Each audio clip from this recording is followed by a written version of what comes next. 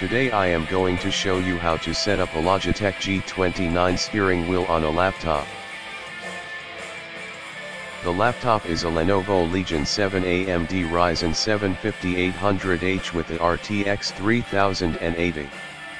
The setup will be the same on most laptops.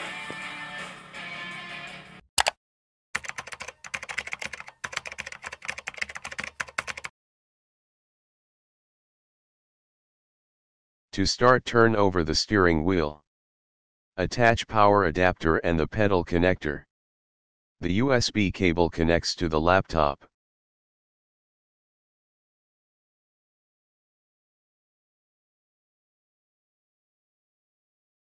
G920 driving force racing wheel is equipped with a bolt-in clamping system for mounting to a table. Push down and rotate clamp knobs to lock or unlock. Rotate clamp knobs to tighten or loosen clamps.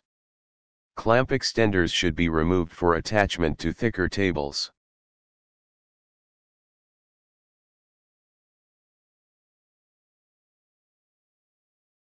Next plug in the USB connector into your laptop. A light will flash on the steering wheel once connected to the laptop.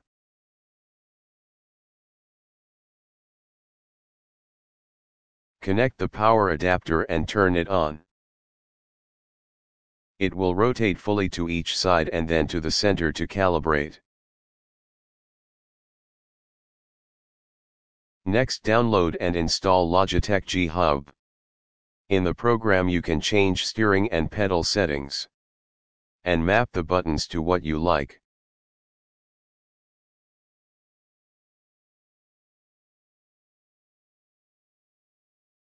I have done a quick test on Assetto Corsa Competizione.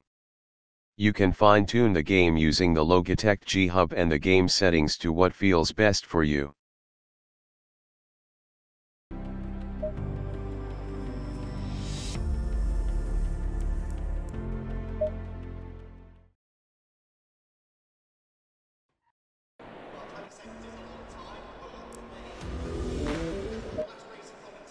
Green light, green light. Go, go.